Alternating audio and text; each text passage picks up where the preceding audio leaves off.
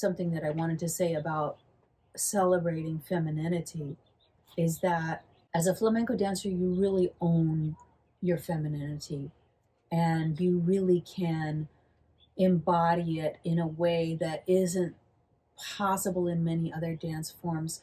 Uh, some, yes, belly dancing, East Indian dancing, probably Native American dancing, many forms that I don't know because there's so many forms all over the world that I don't know because I was born into a white patriarchal society. Uh, I'd like to study them more, but you know, there's only so much time. But what I want to say about flamenco and, and being a woman is that you can really be inside it and own it. And it doesn't matter what size or shape or age you are or what race you are, because we all bleed the same color.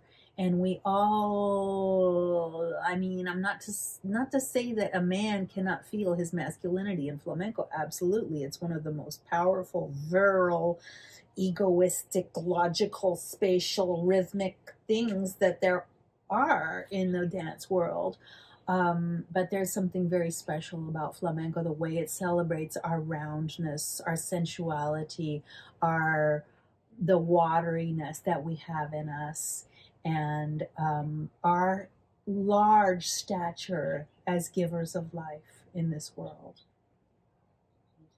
That, thank you. I mean, it's like if nothing else was said during this conversation, I think that that is the most important piece.